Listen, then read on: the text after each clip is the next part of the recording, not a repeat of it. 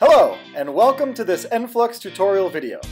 In this video, we'll show you how to take FBX files recorded with Enflux in Blender and play them back in Unity. So first, we'll start up by opening a fresh Unity project. And there are several assets in there, Enflux-enabled characters.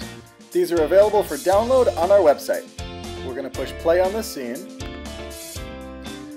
Now this scene assumes that you have already recorded FBX files with Enflux or downloaded them from our website.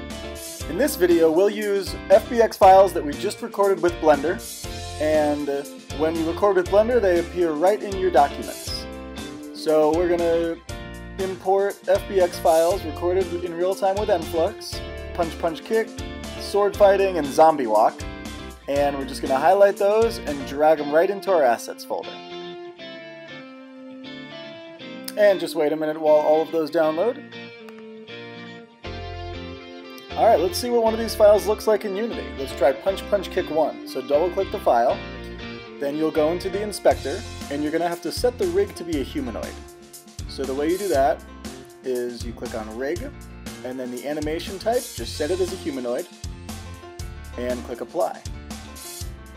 Now once it's set as a humanoid, you want to open up the FBX animation you generated. So click Animation, and it's going to be the armature, armature action, which has a zero start and a longer end time. And you're going to click on that, push play, and wait for it. There it is. Punch, punch, kick! Awesome. Now we're going to pause that, pause in the inspector, and we're going to look at what, what that animation looks like on another game object, on another character. So at the bottom right of the inspector, click the little icon, and you're going to click Other. Now, these are all your game objects that you have, and again, a lot of these characters are available on the Enflux website. Let's check out what it looks like on the Y-Bot. This is one of the standard characters here.